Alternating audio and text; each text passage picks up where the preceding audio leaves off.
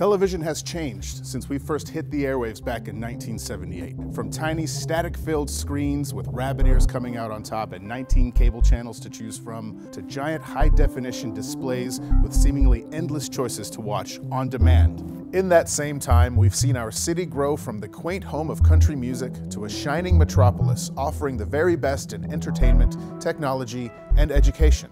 While Nashville, like our viewing habits, has changed, NECAT's mission remains expose Middle Tennessee viewers to the best there is to offer from television made locally in Nashville and around the world.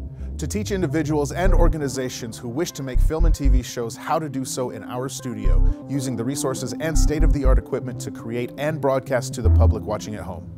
A unique place founded on free speech with access for the public.